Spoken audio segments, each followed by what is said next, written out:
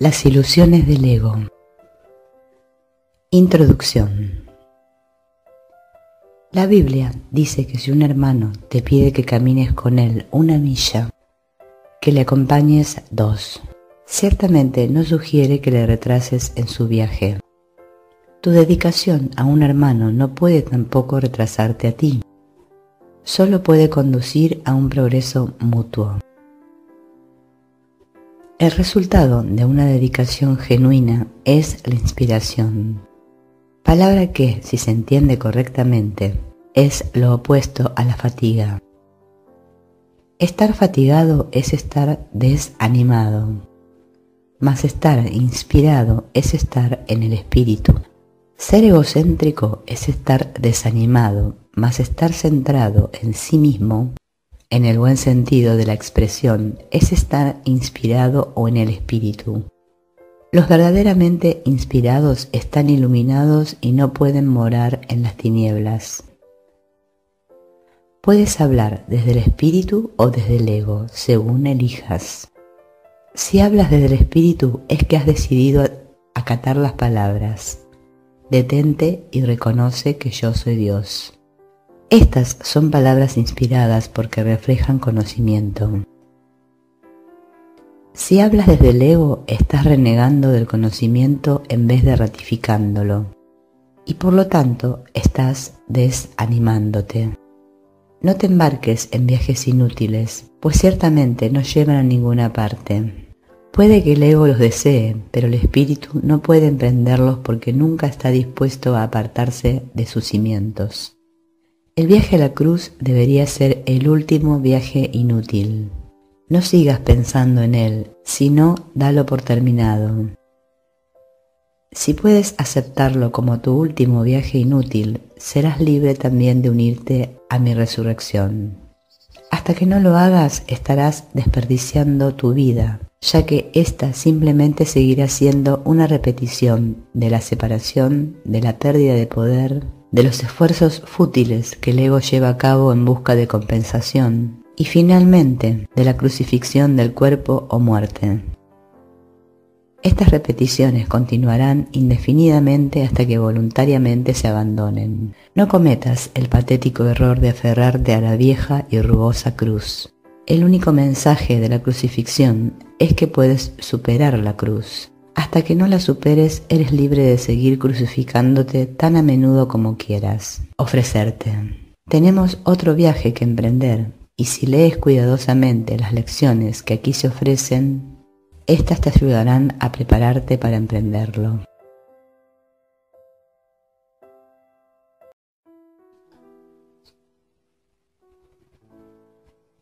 La enseñanza y el aprendizaje correctos. Un buen maestro clarifica sus propias ideas y las refuerza al enseñarlas. En el proceso de aprendizaje, tanto el maestro como el alumno están a la par. Ambos se encuentran en el mismo nivel de aprendizaje y a menos que compartan sus lecciones les faltará convicción.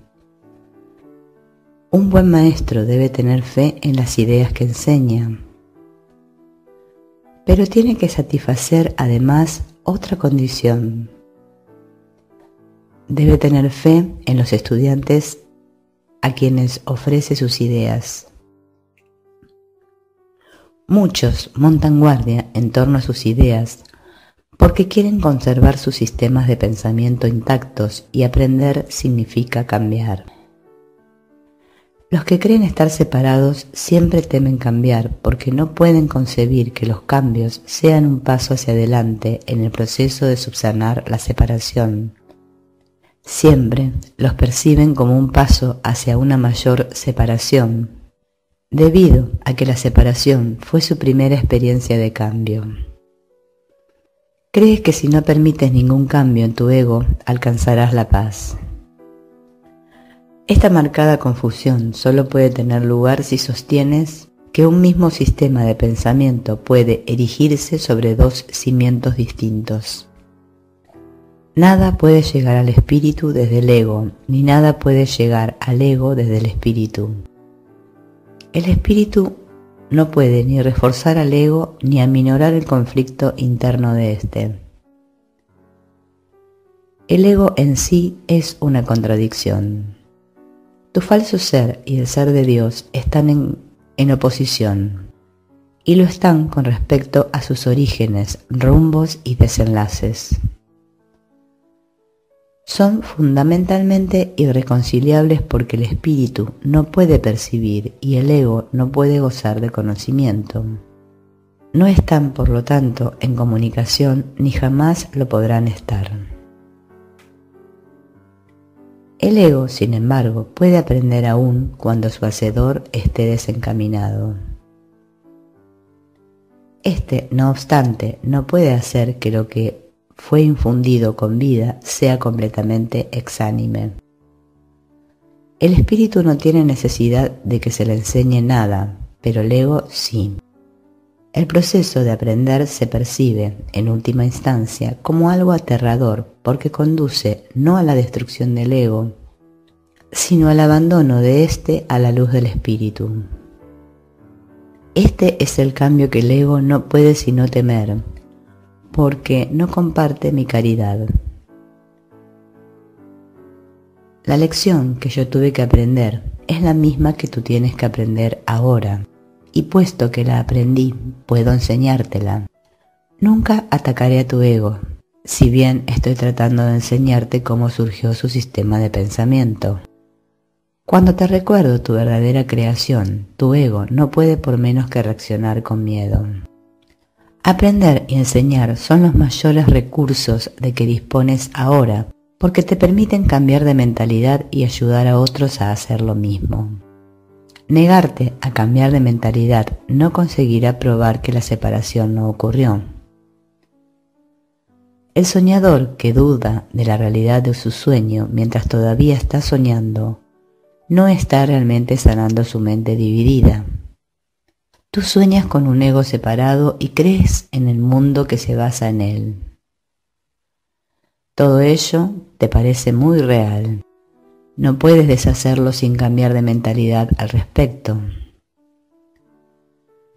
Si estás dispuesto a renunciar al papel de guardián de tu sistema de pensamiento y ofrecérmelo a mí, yo lo corregiré con gran delicadeza y te conduciré de regreso a Dios.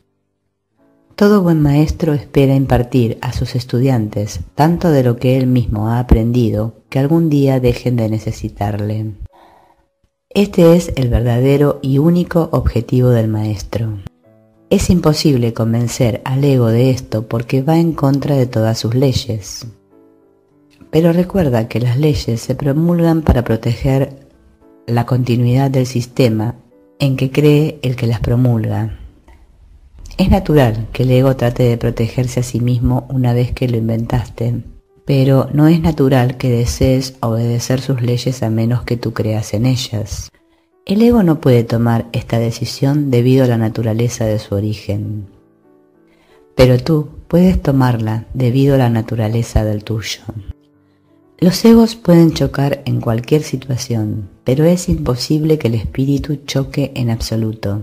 Si percibes a un maestro simplemente como un ego más grande, sentirás miedo, ya que agrandar un ego es aumentar la ansiedad que produce la separación.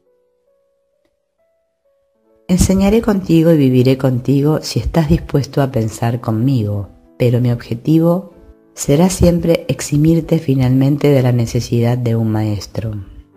Esto es lo opuesto al objetivo del maestro que se deja guiar por el ego.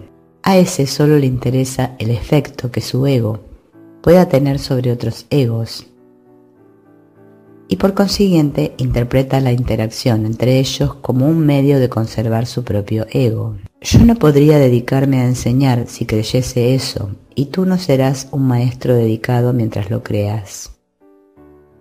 Se me percibe constantemente como un maestro al que hay que exaltar o rechazar, pero yo no acepto ninguna de esas dos percepciones de mí mismo. El que enseñes o aprendas no es lo que establece tu valía. Tu valía la estableció Dios. Mientras sigas oponiéndote a esto, todo lo que hagas te dará miedo. especialmente aquellas situaciones que tiendan a apoyar la creencia en la superioridad o en la inferioridad. Los maestros tienen que tener paciencia y repetir las lecciones que enseñan hasta que éstas se aprendan. Yo estoy dispuesto a hacer eso porque no tengo derecho a fijar los límites de tu aprendizaje por ti. Una vez más, nada de lo que haces, piensas o deseas es necesario para establecer tu valía. Este punto no es debatible excepto en fantasías. Tu ego no está nunca en entredicho porque Dios no lo creó. Tu espíritu no está nunca en entredicho porque Él lo creó. Cualquier confusión al respecto es ilusoria y mientras perdure esa ilusión no es posible tener decisión alguna. El ego trata de explotar todas las situaciones para vanagloriarse a fin de superar sus propias dudas. Seguirá lleno de dudas mientras tú sigas creyendo en su existencia. Tú que lo inventaste no puedes tener confianza en él, porque cuando estás en tu mente recta te das cuenta de que no es real. La única solución cuerda es no tratar de cambiar la realidad, lo cual sería ciertamente aterrador, sino aceptarla tal como es. Tú formas parte de la realidad, la cual permanece inmutable más allá del alcance del ego, aunque fácilmente al alcance del espíritu. Cuando sientas miedo, aquíétate y reconoce que Dios es real y que tú eres su Hijo amado en quien Él se complace. No dejes que tu ego refute esto porque el ego no puede conocer algo que está tan lejos de su alcance como lo estás tú. Dios no es el autor del miedo. El autor del miedo eres tú. Has elegido crear en forma diferente a como crea Él y por lo tanto has hecho posible el que puedas tener miedo. No estás en paz porque no estás desempeñando tu función. Dios te encomendó una función muy elevada que no estás llevando a cabo. Tu ego ha elegido estar atemorizado en vez de llevarla a cabo. Cuando despiertes te será imposible entender esto porque es literalmente increíble.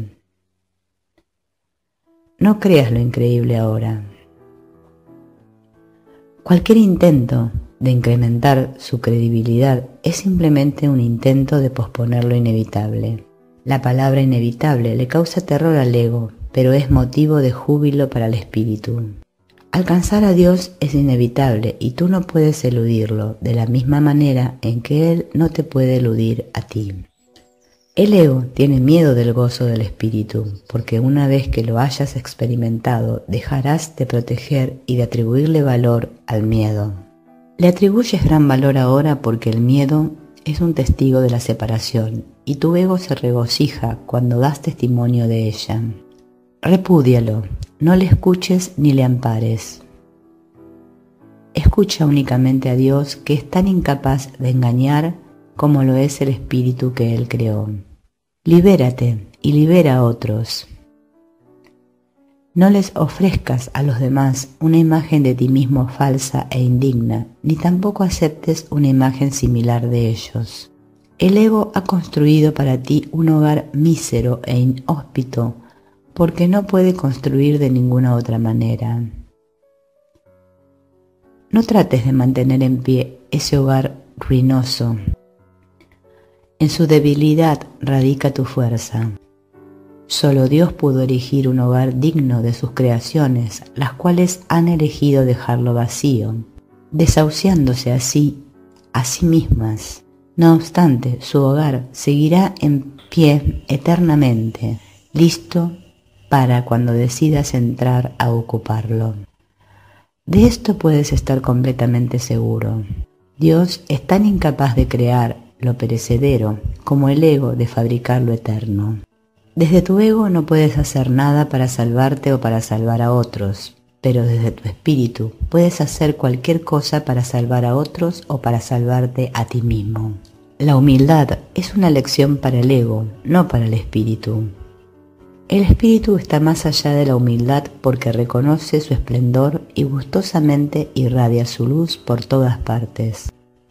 Los mansos heredarán la tierra porque sus egos son humildes y esto hace que su percepción sea más fidedigna.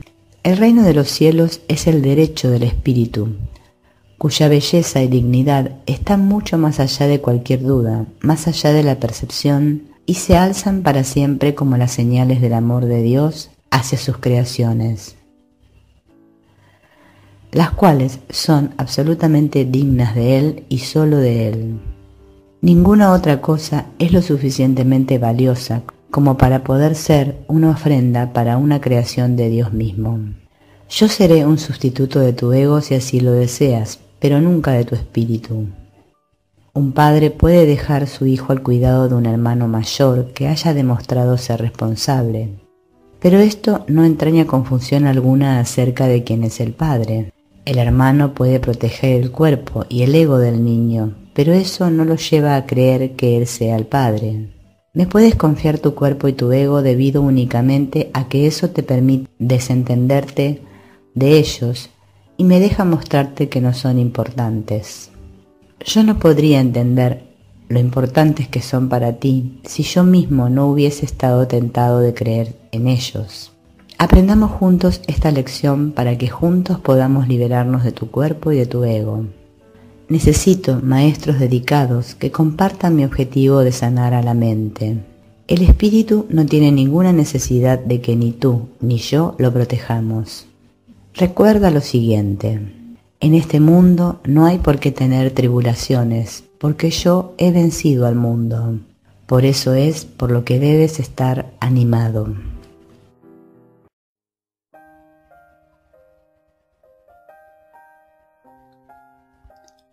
El ego y la falsa autonomía. Es razonable preguntarse cómo pudo la mente haber inventado al ego.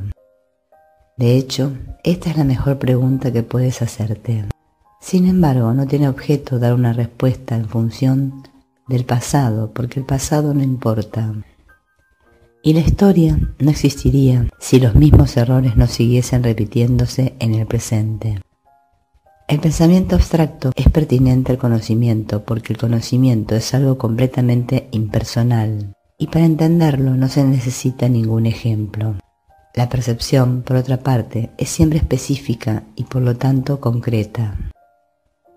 Todo el mundo inventa un ego o un yo para sí mismo, el cual está sujeto a enormes variaciones debido a su inestabilidad. También inventa un ego para cada persona a la que percibe, el cual es igualmente variable. Su interacción es un proceso que los altera a ambos, porque no fueron creados por el inalterable o mediante él.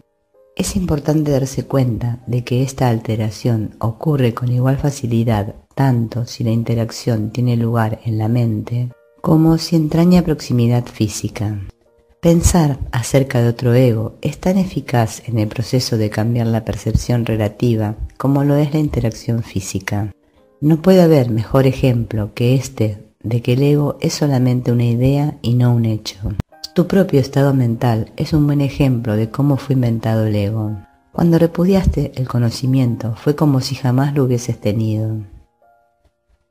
Esto es tan evidente que basta con que lo reconozcas para constatar que eso es lo que en realidad ocurre.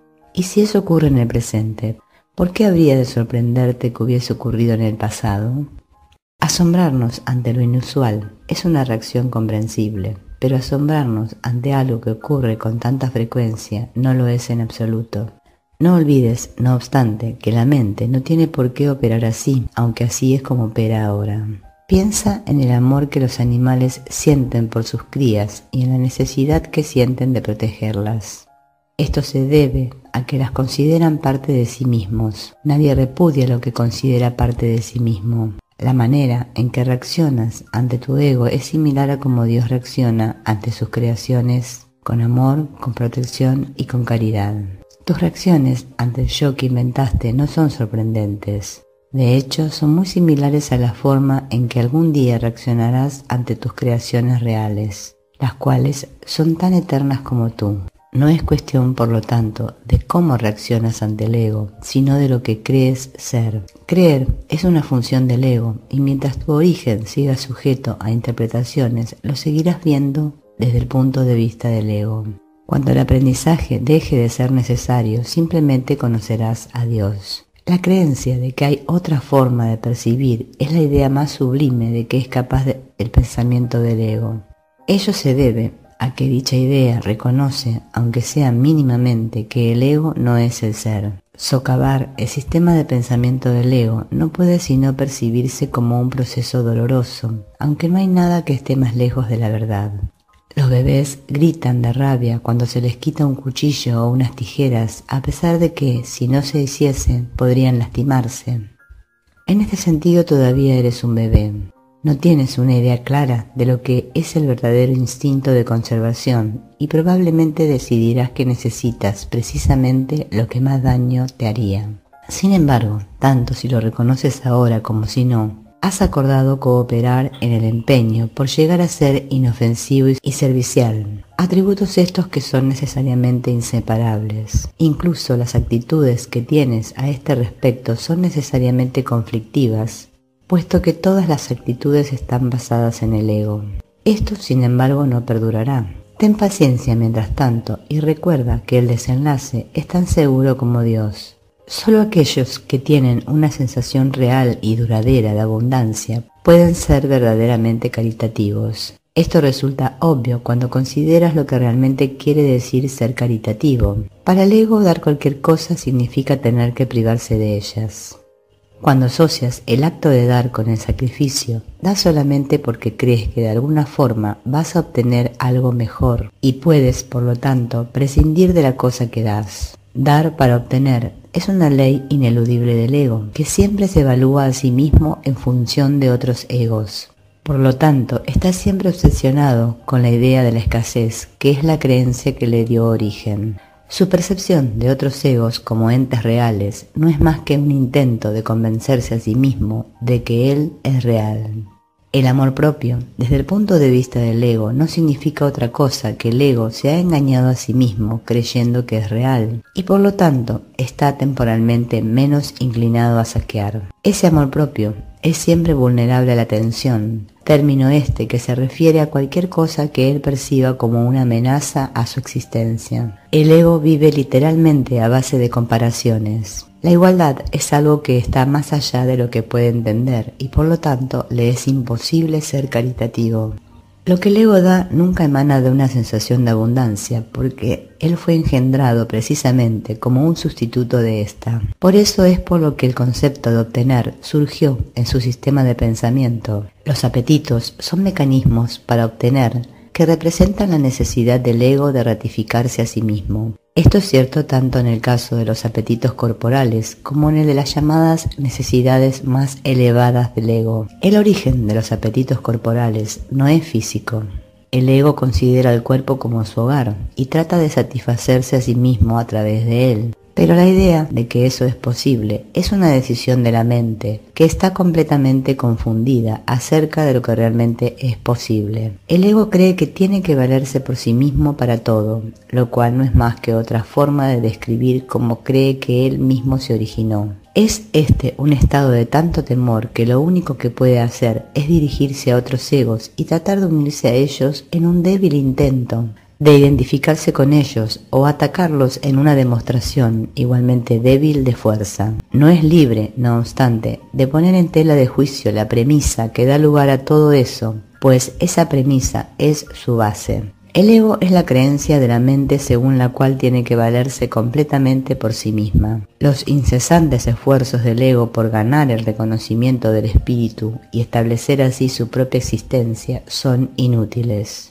El espíritu, en su conocimiento, no es consciente del ego, no lo ataca, simplemente no lo puede concebir en absoluto. Aunque el ego tampoco se percata del espíritu, se percibe a sí mismo rechazado por algo más grande que él. Por eso es por lo que el amor propio, tal como el ego lo concibe, no puede por menos que ser ilusorio. Las creaciones de Dios no crean mitos, si bien el esfuerzo creativo se puede trocar en mitología. Esto puede suceder, sin embargo, solo bajo una condición. lo que fabrica deja de ser creativo. Los mitos pertenecen exclusivamente al ámbito de la percepción y las formas que adoptan son tan ambiguas y su naturaleza está tan marcada por la dicotomía entre el bien y el mal que ni siquiera el más benévolo de ellos está exento de connotaciones aterradoras. Los mitos y la magia están íntimamente relacionados, ya que los mitos generalmente tienen que ver con el origen del ego y la magia,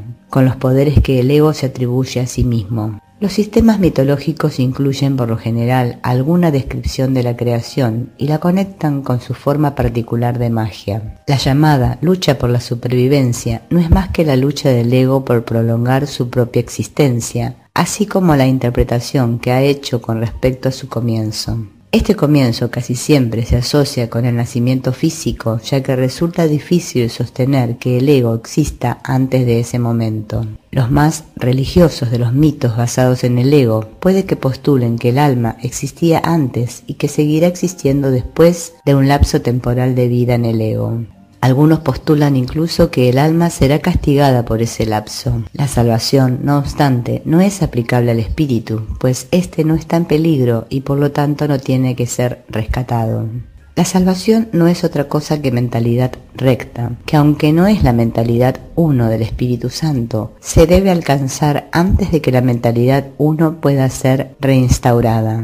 La mentalidad recta conduce automáticamente al siguiente paso, ya que la percepción correcta está completamente exenta de cualquier forma de ataque y por lo tanto la mentalidad errada desaparece. El ego no puede sobrevivir sin hacer juicios y por consiguiente se le abandona. La mente tiene entonces una sola dirección por la que avanzar. La dirección que sigue es siempre automática, pues no puede sino acatar los dictados del sistema de pensamiento al que se adhiere.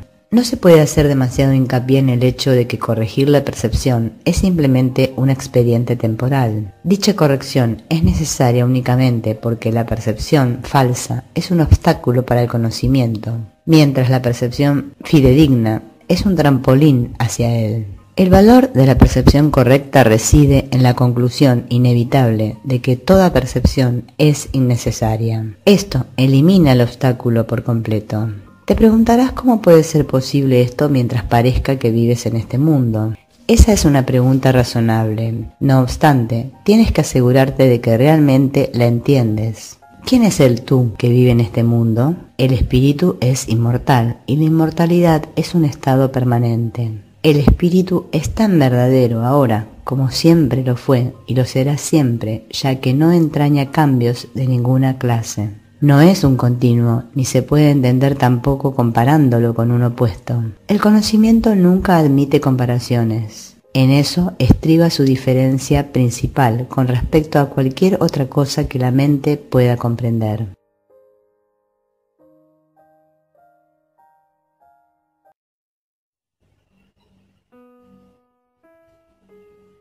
Amor sin conflicto.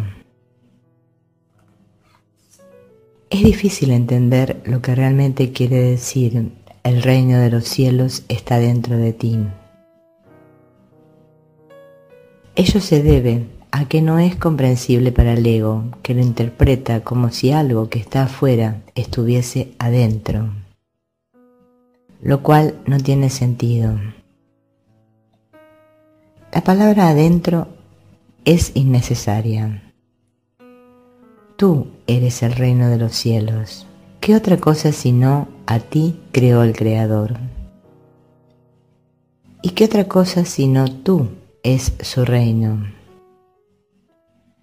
Este es el mensaje de la expiación, mensaje que en su totalidad trasciende la suma de sus partes.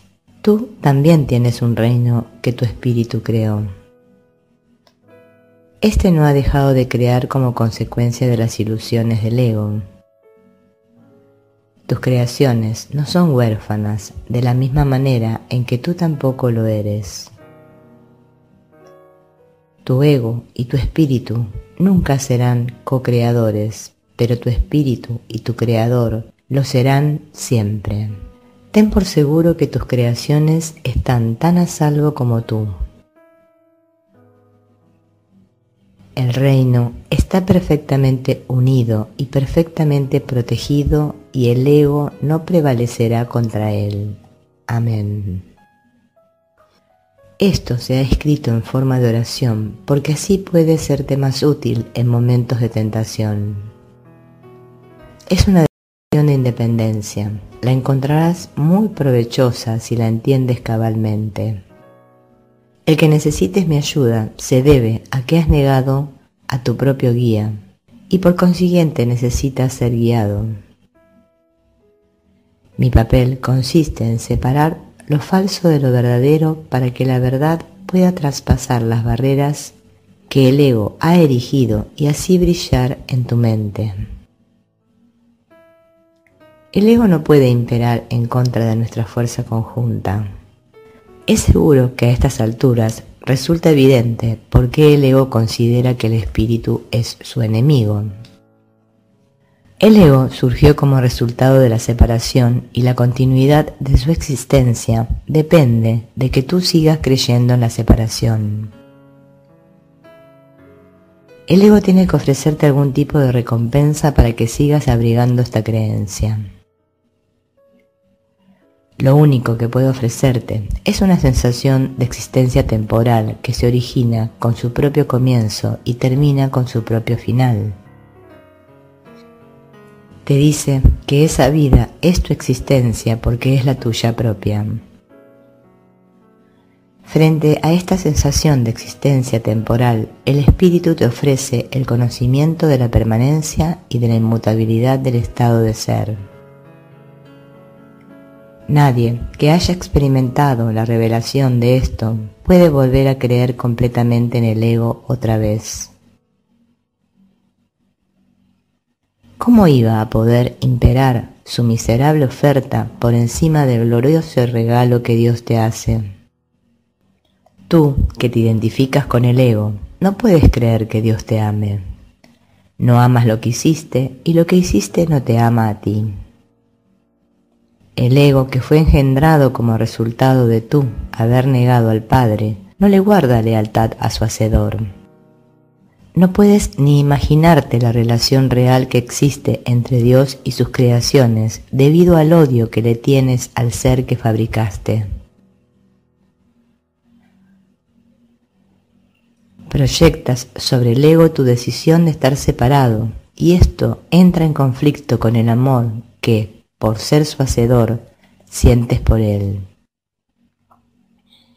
No hay amor en este mundo que esté exento de esta ambivalencia, y puesto que ningún ego ha experimentado amor sin ambivalencia, el amor es un concepto que está más allá de su entendimiento. El amor aflorará de inmediato en cualquier mente que de verdad lo desee, pero tiene que desearlo de verdad. Esto quiere decir desearlo sin ninguna ambivalencia. Y esta forma de desear está completamente desprovista de la compulsión de obtener del ego. Existe una clase de experiencia tan diferente de todo lo que el ego pudiera ofrecerte que nunca más querrás volver a encubrirla o ocultarla. Es necesario repetir que tu creencia en la oscuridad y en la ocultación es la razón de que la luz no pueda pasar. La Biblia hace referencia frecuentemente a los inconmensurables dones que te aguardan, pero que tienes que pedir. Esta no es una condición como las que el ego establece, sino que es la gloriosa condición de lo que tú eres. Ninguna fuerza, excepto tu propia voluntad, es lo suficientemente fuerte o digna como para poder guiarte. En esto eres tan libre como Dios, y así será eternamente. Pidámosle al Padre en mi nombre que te mantenga consciente de su amor por ti y del tuyo por Él. Él nunca ha dejado de responder a este ruego, pues lo único que éste pide es lo que su voluntad ya ha dispuesto. Quienes piden sinceramente siempre reciben respuesta. No debes anteponer otros dioses a Él, porque no hay otros dioses. Nunca se te ha ocurrido realmente renunciar a todas las ideas que jamás hayas tenido que se oponen al conocimiento. conservas miles de retazos de temor que le impiden la entrada al Santísimo. La luz no puede filtrarse a través de los muros que levantas para obstruir su paso y nunca estará dispuesta a destruir lo que tú has hecho. Nadie puede ver a través de un muro, pero yo puedo transponerlo. Mantente alerta contra los retazos de miedo que aún conservas en tu mente, o de lo contrario, no podrás pedirme que lo transponga. Solo puedo ayudarte, tal como nuestro Padre nos creó. Te amaré, te honraré y respetaré absolutamente lo que has hecho, pero no lo apoyaré a menos que sea verdad. Nunca te abandonaré, tal como Dios tampoco te abandonará, pero tengo que esperar mientras tú continúes eligiendo abandonarte a ti mismo. Debido a que espero con amor y no con impaciencia. Es indudable que me pedirás con sinceridad que lo transponga. Vendré en respuesta a toda llamada inequívoca. Examina detenidamente qué es lo que estás realmente pidiendo. Sé muy honesto contigo mismo al respecto, pues no debemos ocultarnos nada el uno al otro.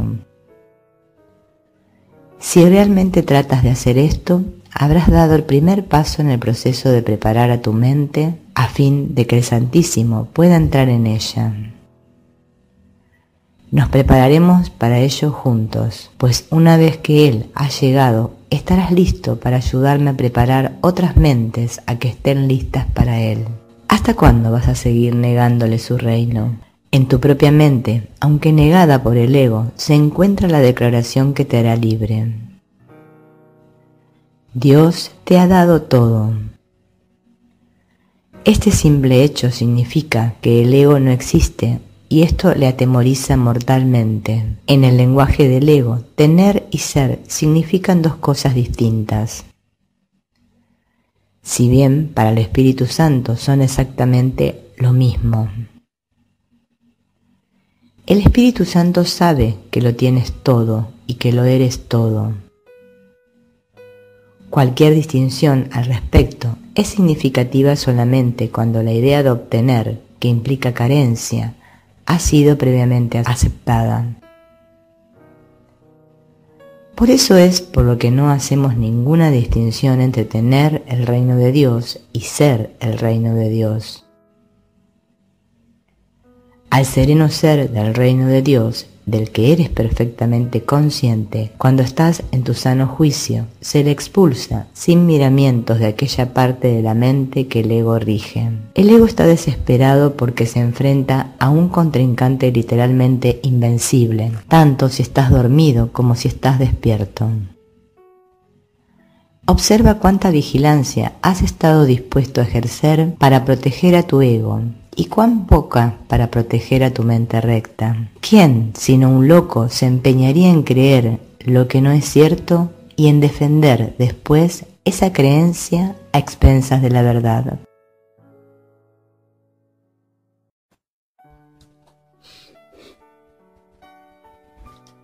Esto no tiene por qué ser así.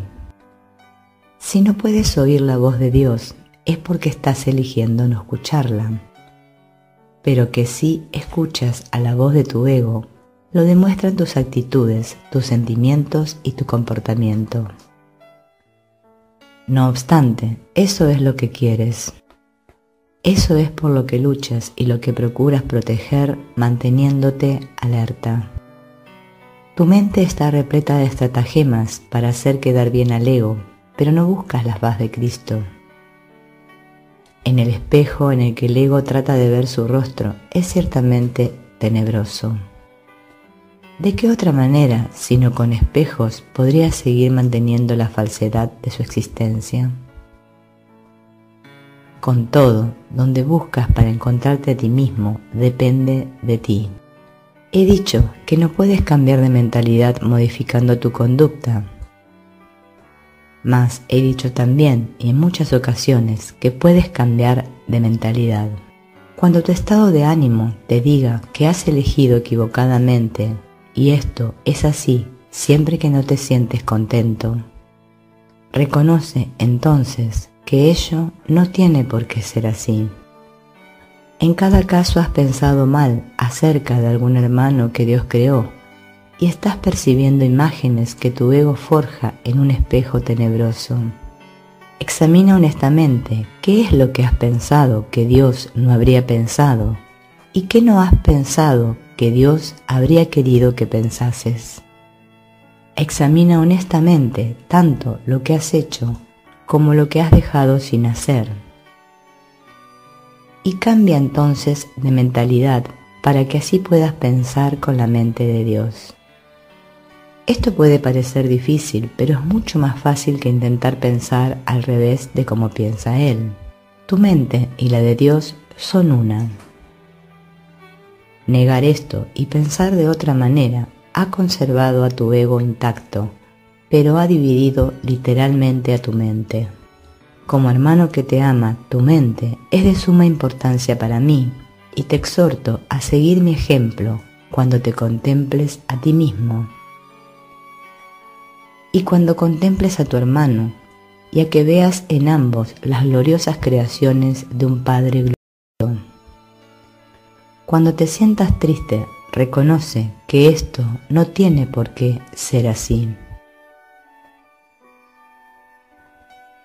Las depresiones proceden de una sensación de que careces de algo que deseas y no tienes. Recuerda que no careces de nada, excepto si así lo decides, y decide entonces de otra manera. Cuando sientas ansiedad, date cuenta de que la ansiedad procede de los caprichos del ego. Reconoce que eso no tiene por qué ser así. Puedes estar tan alerta contra los dictados del ego como en su favor. Cuando te sientas culpable, recuerda que el ego ciertamente ha violado las leyes de Dios, pero tú no. Los pecados del ego, déjamelos a mí. Ese es el propósito de la expiación. Pero hasta que no cambies de parecer con respecto a aquellos a quienes tu ego ha herido, la expiación no podrá liberarte. Si te sigues sintiendo culpable, es porque tu ego sigue al mando, ya que solo el ego puede experimentar culpabilidad. Eso no tiene por qué ser así. Vigila tu mente contra las tentaciones del ego y no te dejes engañar por él. No tiene nada que ofrecerte. Cuando hayas abandonado ese desánimo voluntario verás cómo tu mente puede concentrarse, trascender toda fatiga y sanar. No obstante, no te mantienes lo suficientemente alerta contra las exigencias del ego como para poder liberarte de ellas. Eso no tiene por qué ser así. El hábito de colaborar con Dios y sus creaciones se adquiere fácilmente si te niegas diligentemente a dejar que tu mente divague. No se trata de un problema de falta de concentración, sino de la creencia de que nadie, incluido tú, es digno de un esfuerzo continuo. Ponte de mi parte sistemáticamente contra este engaño y no permitas que esa desafortunada creencia te retrase. Los descorazonados no pueden ayudarse a sí mismos ni me pueden ayudar a mí. Sin embargo, solo el ego puede sentirse descorazonado. ¿Te has detenido a pensar seriamente en las muchas oportunidades que has tenido de regocijarte y en cuántas has dejado pasar? El poder de un Hijo de Dios es ilimitado pero Él puede restringir la expresión de su poder tanto como quieran. Tu mente y la mía pueden unirse para desvanecer con su luz a tu ego, liberando la fuerza de Dios para que reverbere en todo lo que hagas o pienses. No te conformes con menos y niégate a aceptar como tu objetivo nada que no sea eso. Vigila tu mente con sumo cuidado contra cualquier creencia que se interponga en el logro de tu objetivo y recházala. Juzga por tus sentimientos cuán bien has hecho esto, pues ese es el único uso acertado del juicio. Los juicios, al igual que cualquier otra defensa, se pueden utilizar para atacar o para proteger, para herir o para sanar. Al ego se le debe llevar a juicio y allí declararlo inexistente. Sin tu lealtad, protección y amor, el ego no puede existir. Deja que sea juzgado imparcialmente y no podrás por menos que retirarle tu lealtad, tu protección y tu amor. Eres un espejo de la verdad en el que Dios mismo brilla en perfecta luz. Al tenebroso espejo del ego no tienes sino que decirle, no voy a mirar ahí porque sé que esas imágenes no son verdad. Deja entonces que el Santísimo brille sobre ti en paz, sabiendo que así y sólo así es como debe ser. Su mente resplandeció sobre ti en tu creación y le dio existencia a tu mente. Su mente resplandece todavía sobre ti y no puede sino resplandecer a través de ti. Tu ego no puede impedir que Dios resplandezca sobre ti, pero sí puede impedirte que le dejes resplandecer a través de ti. El primer advenimiento de Cristo no es más que otro nombre para la creación, pues Cristo es el Hijo de Dios. El segundo advenimiento de Cristo no significa otra cosa que el fin del dominio del ego y la curación de la mente. Al igual que tú, fui creado en el primero y te he llamado para que te unas a mí en el segundo. Estoy a cargo del segundo advenimiento y mi juicio, que se usa solamente como protección, no puede ser erróneo porque nunca ataca. El tuyo puede estar tan distorsionado que hasta creas que me equivoqué al escogerte. Te aseguro que eso es un error de tu ego. No lo confundas con humildad. Tu ego está tratando de convencerte de que él es real y de que yo no lo soy, ya que si yo soy real, no puedo ser más real que tú. Ese conocimiento, y te aseguro yo que es conocimiento, significa que Cristo ha venido a tu mente y la ha sanado. Yo no ataco a tu ego, trato con tu mente superior, la morada del Espíritu Santo, tanto si estás dormido como si estás despierto, al igual como tu ego trata con tu mente inferior, que es su hogar. Me mantengo alerta por ti con respecto a esto porque tú estás tan confundido que te resulta imposible reconocer tu propia esperanza. No estoy equivocado. Tu mente optará por unirse a la mía y juntos somos invencibles. Tú y tu hermano os uniréis finalmente en mi nombre y vuestra cordura os será restaurada. Resucité a los muertos porque sabía que la vida era un atributo eterno de todo lo que el Dios viviente creó. ¿Por qué crees que habría de ser más difícil para mí inspirar a los desanimados o estabilizar lo inestable? Yo no creo que haya grados de dificultad en los milagros. Tú sí. Te he llamado y tú responderás. Yo comprendo que los milagros son acontecimientos naturales porque son expresiones de amor. El que yo te llame es tan natural como el que tú me respondas, e igualmente inevitable.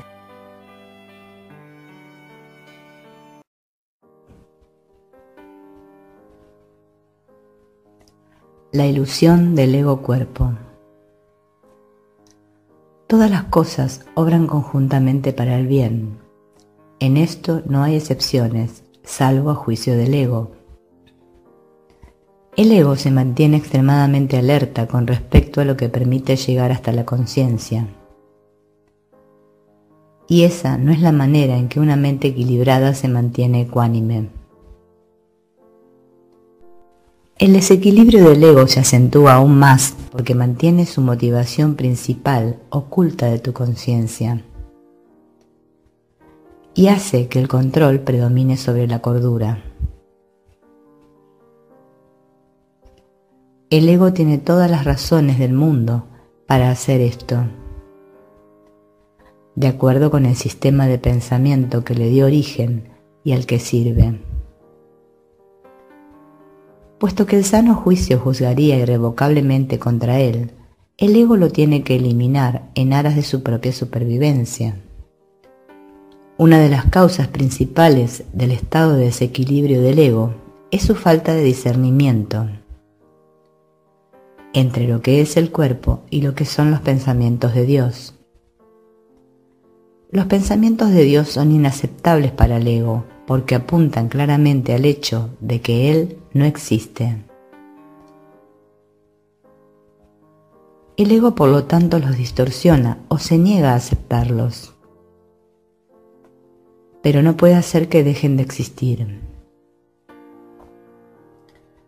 El ego por consiguiente trata de ocultar no solo los impulsos inaceptables del cuerpo, sino también los pensamientos de Dios, ya que ambos suponen una amenaza para él. Dado que lo que básicamente le preocupa es su propia supervivencia ante cualquier amenaza, el ego los percibe ambos como si fueran lo mismo. Y al percibirlos así, evita ser aniquilado como de seguro lo sería en presencia del conocimiento.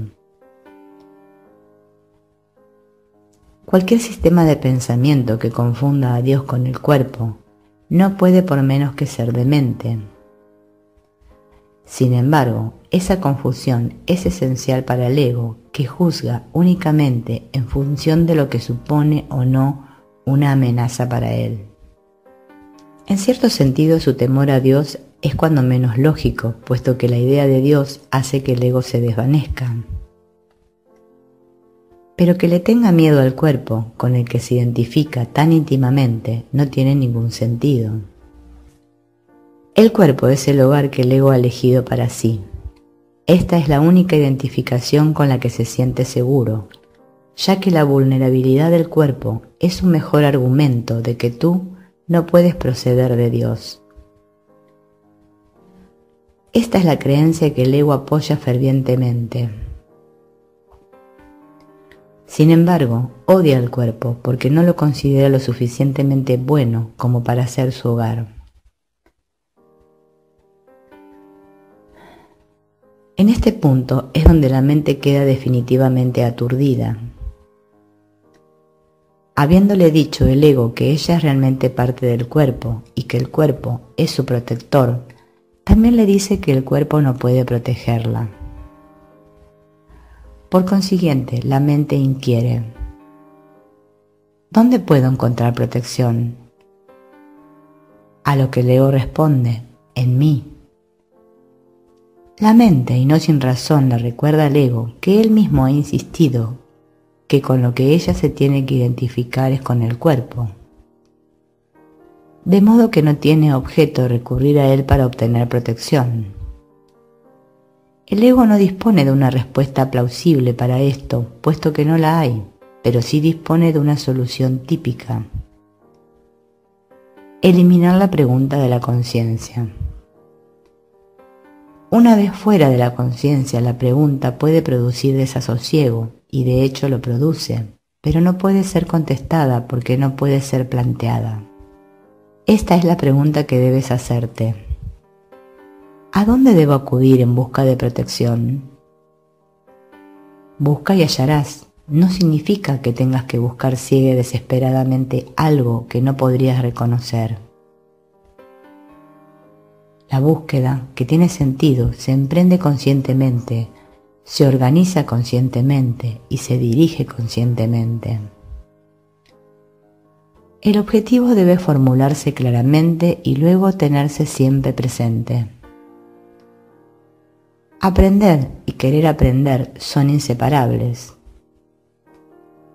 Te resulta más fácil aprender cuando crees que lo que estás tratando de aprender tiene valor para ti.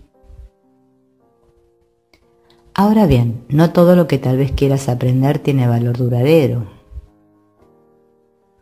En realidad muchas de las cosas que quieres aprender tal vez las hayas escogido precisamente porque su valor es efímero. El ego cree que es una ventaja no comprometerse con nada que sea eterno, ya que lo eterno solo puede proceder de Dios. La eternalidad es la única función que el ego ha tratado de desarrollar, si bien ha fracasado repetidamente. El ego transige con la cuestión de lo eterno, al igual que con todas las cuestiones que de algún modo tienen que ver con la verdadera pregunta la cual espera encubrir y mantener fuera de la conciencia, ocupándose de asuntos marginales. La tendencia típica del ego de estar continuamente ocupado con nimiedades tiene como objeto apoyar ese propósito. Uno de los ardides favoritos para obstaculizar el aprendizaje es embarcarse en problemas diseñados de tal manera que su resolución sea imposible. La pregunta que nunca formulan quienes se embarcan en tales maniobras dilatorias es ¿Para qué?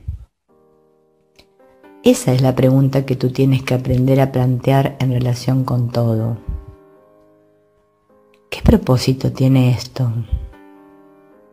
Sea cual fuere, dirigirá tus esfuerzos automáticamente. Cuando tomas una decisión con respecto a un propósito, tomas una decisión con respecto a los esfuerzos que vas a llevar a cabo en el futuro. Y esta decisión permanecerá en vigor a menos que cambies de parecer.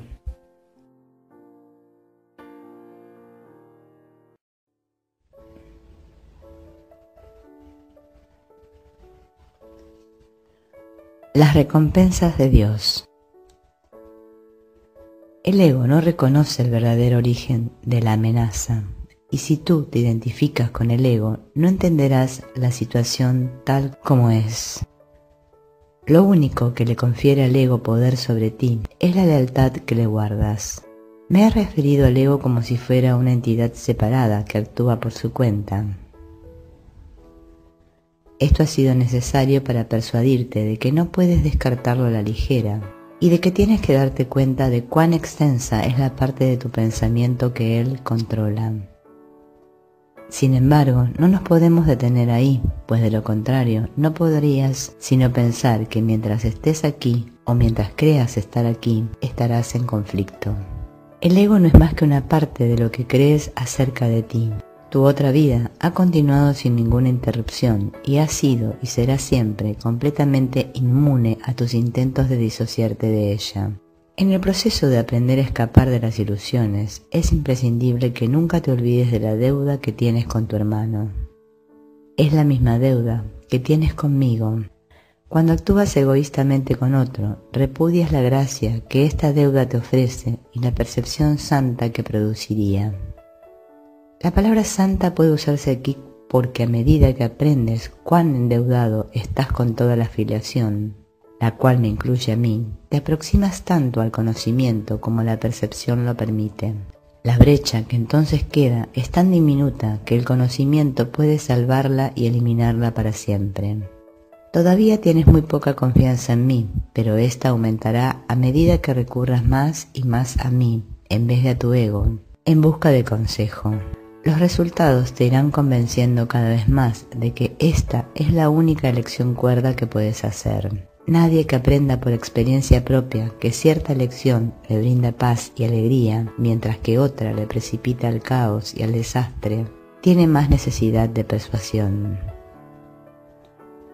Es más eficaz aprender a base de recompensas que a base de dolor, porque el dolor es una ilusión del ego y no puede producir más que un efecto temporal. Las recompensas de Dios, en cambio, se reconocen inmediatamente como eternas, puesto que este reconocimiento lo haces tú y no el ego. El reconocimiento mismo establece que tú y el ego no podéis ser lo mismo. Tal vez creas que ya has aceptado esto, pero aún no estás convencido de ello en absoluto. Prueba de ello es el hecho de que crees que debes escaparte del ego. Sin embargo, no puedes escaparte de él humillándolo, controlándolo o castigándolo. El ego y el espíritu no se conocen. Solo mediante la disociación puede la mente separada mantener vigente la separación.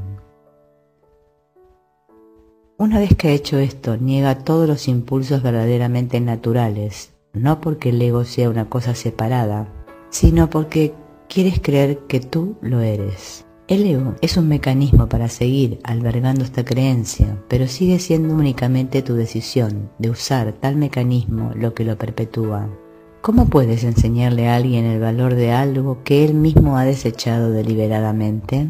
Tiene que haberlo desechado porque no le atribuyó ningún valor. Lo único que puedes hacer es mostrarle cuánta infelicidad le causa su ausencia e írselo acercando lentamente para que pueda ver cómo mengúa su infortunio según él se aproxima a ello.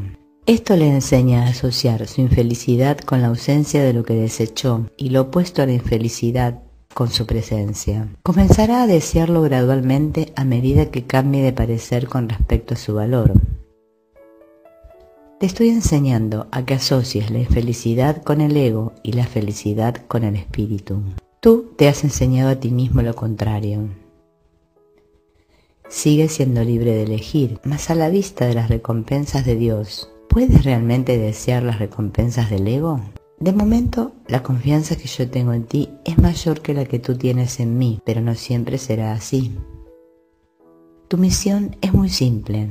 Se te pide que vivas de tal forma que demuestre que no eres un ego, y yo no me equivoco al elegir los canales de Dios. El Santísimo comparte mi confianza y acepta mis decisiones con respecto a la expiación, porque mi voluntad nunca está en desacuerdo con la suya. Dije anteriormente que yo estoy a cargo de la expiación.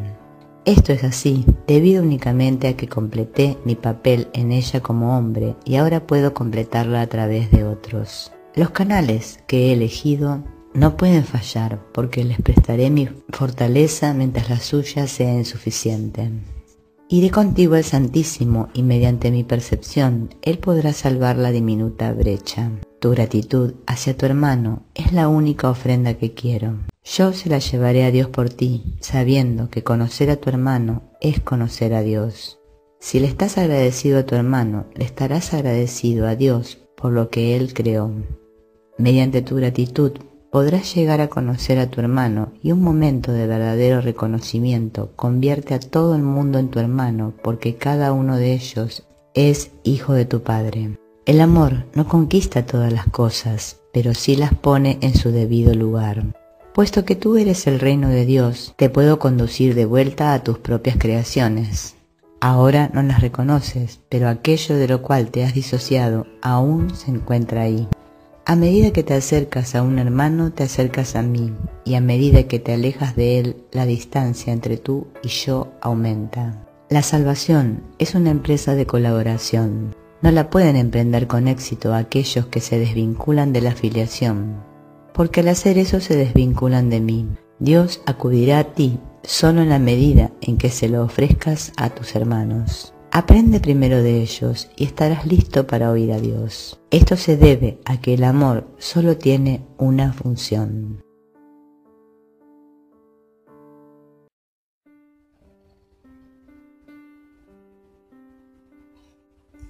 Creación y comunicación.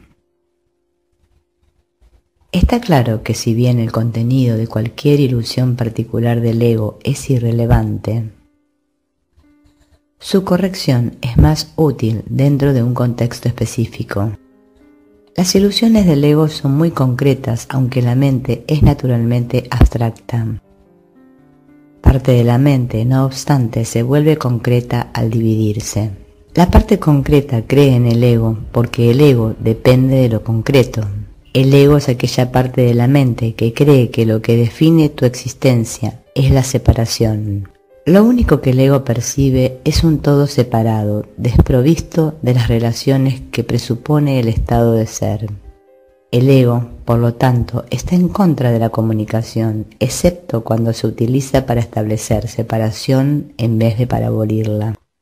El sistema de comunicación del ego se basa en su propio sistema de pensamiento, al igual que todo lo demás que él impone. Su comunicación está controlada por la necesidad que tiene de protegerse e interrumpirá la comunicación siempre que se sienta amenazado. Esta interrupción es una reacción hacia una o varias personas determinadas. El carácter específico de la manera de pensar del ego da lugar entonces a generalizaciones falsas que son realmente abstractas en absoluto. El ego simplemente responde de ciertas formas específicas a todo lo que percibe como relacionado. El espíritu, en cambio, reacciona de la misma manera a todo lo que sabe que es verdadero y no responde en absoluto a nada más. Tampoco hace ningún esfuerzo por establecer lo que es verdad. Él sabe que lo único que es verdad es lo que Dios creó. El espíritu está en completa y directa comunicación con todos los aspectos de la creación, debido a que está en completa y directa comunicación con su creador. Esta comunicación es la voluntad de Dios. Creación y comunicación son sinónimos. Dios creó a cada mente comunicándole su mente y estableciéndola así para siempre como un canal para su mente y su voluntad. Puesto que solo los seres que pertenecen a un mismo orden pueden realmente comunicarse, sus creaciones se comunican naturalmente con Él y como Él. Esta comunicación es perfectamente abstracta, ya que su aplicación es de una calidad universal y no está sujeta a ningún juicio, excepción o alteración. Dios te creó mediante esta comunicación y para ella. La mente puede distorsionar su propia función, pero no puede atribuirse a sí misma funciones que no le fueron dadas. Por eso es por lo que la mente no puede perder del todo la capacidad de comunicarse, aun cuando puede negarse a utilizarla en favor del estado de ser. Tanto la existencia como el estado de ser se basan en la comunicación. La existencia, sin embargo, es específica en cuanto a qué, cómo y con quién vale la pena entablar comunicación. El estado de ser carece por completo de estas distinciones es un estado en que la mente está en comunicación con todo lo que es real.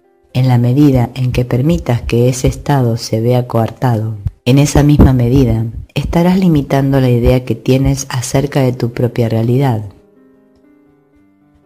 la cual se vuelve total únicamente cuando reconoces a toda la realidad en el glorioso contexto de la verdadera relación que tiene contigo. Esa es tu realidad. No la profanes ni la rechaces es tu verdadero hogar, tu verdadero templo y tu verdadero ser. Dios, que abarca todo lo que existe, creó seres que lo tienen todo individualmente, pero que quieren compartirlo para así incrementar su gozo. Nada real puede incrementarse excepto compartiéndolo. Por eso es por lo que Dios te creó a ti. La abstracción divina se deleita compartiendo. Eso es lo que significa la creación. Las preguntas qué, cómo y con quién son irrelevantes toda vez que la verdadera creación lo da todo, ya que solo puede crear a semejanza propia. Recuerda que la diferencia que hay entre tener y ser en la existencia, en el reino, no existe. En el estado de ser la mente siempre lo da todo. La Biblia afirma repetidamente que debes alabar a Dios esto no quiere decir que debas decirle cuán maravilloso es. Dios no tiene un ego con el que aceptar tal alabanza, ni percepción con que juzgarla. Pero a menos que desempeñes el papel que te corresponde en la creación, su gozo no será total porque el tuyo no lo es. Y Él ciertamente sabe esto. Lo sabe en su propio ser y en la experiencia que su ser tiene de la experiencia del Hijo. El constante fluir de su amor se obstruye cuando sus canales están cerrados y se siente solo cuando las mentes que Él creó no se comunican plenamente con Él. Dios ha salvaguardado tu reino, pero no puede compartir su gozo contigo hasta que no conozcas el reino con toda tu mente. La revelación no es suficiente porque es una comunicación de Dios hacia ti solamente. Dios no tiene necesidad de que se le devuelva la revelación, lo cual sería claramente imposible. Pero sí desea que se transmita a otros. Esto no se puede hacer con la revelación en sí, pues su contenido no puede ser expresado, debido a que es algo sumamente personal para la mente que lo recibe. No obstante, dicha mente la puede extender a otras mentes mediante las actitudes generadas por la sabiduría que se deriva de la revelación. Dios es alabado cada vez que una mente aprende a ser completamente servicial. Esto, sin embargo, es imposible a menos que también aprenda a ser completamente inofensiva, pues ambas creencias tienen que coexistir. Los que son verdaderamente serviciales son a su vez invulnerables porque no protegen a sus egos y por lo tanto nada puede hacerles daño. Su espíritu servicial es la manera en que alaban a Dios y Él les devolverá las alabanzas que le hagan porque ellos son como Él y pueden regocijarse juntos. Dios se extiende hasta ellos y a través de ellos y cunde una gran alegría por todo el reino. Cada mente que ha sido transformada contribuye a aumentar esta alegría al estar individualmente dispuesta a compartirla. Los verdaderamente serviciales son los obradores de milagros de Dios, a quienes yo dirijo hasta que estemos todos unidos en el júbilo del reino. Yo te dirigiré allí donde puedas ser verdaderamente servicial y a quien pueda seguir mi dirección a través de ti.